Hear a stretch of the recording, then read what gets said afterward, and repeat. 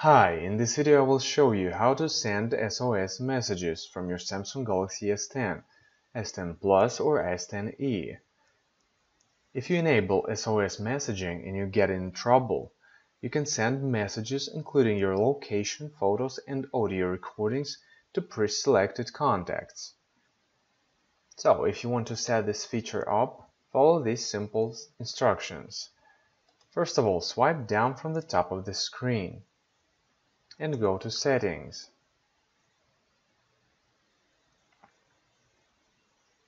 Scroll down and tap Advanced Features.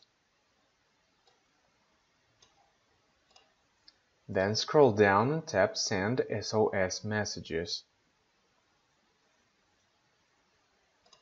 Turn the status switch on and then tap OK.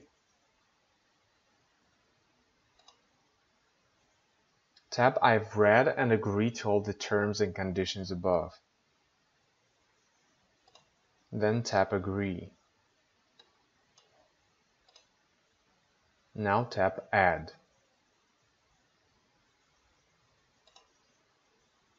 And tap Select from Contacts. Select the contacts you'd like SOS messages to be sent to, and then tap Done. You can select up to four contacts. If you need to send an SOS messages, if you need to send an SOS message, quickly press the power key three times.